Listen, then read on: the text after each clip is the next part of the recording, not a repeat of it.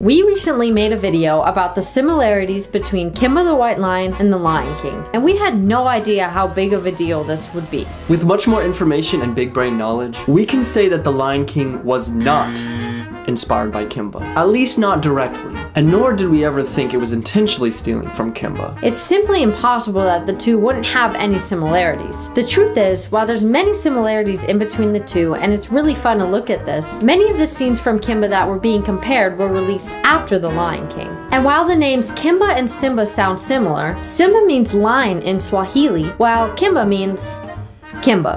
What do you think? Did you know this about Kimba and the Lion King?